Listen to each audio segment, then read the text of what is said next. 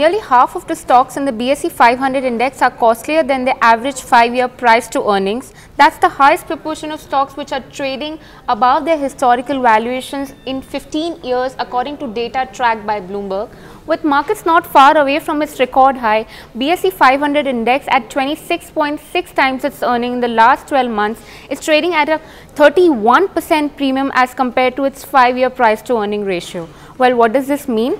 Such high valuation do not necessarily mean a steep fall in the stock prices, but do indicate lower returns according to a report put out by India Infoline Institutional Equities. According to the report, the future returns for these stocks are expected to be far lower in nominal terms as compared to what some of these stocks have seen in the recent past. That's the chart of the day. This is Nikki and you're watching Bloomberg Quint.